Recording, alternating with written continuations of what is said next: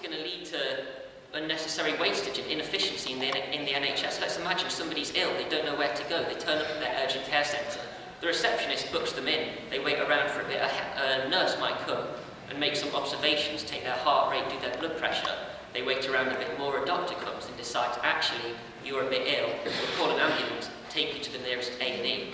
At the nearest A&E, you'll be booked in by the receptionist. Then a nurse will come, make some observations.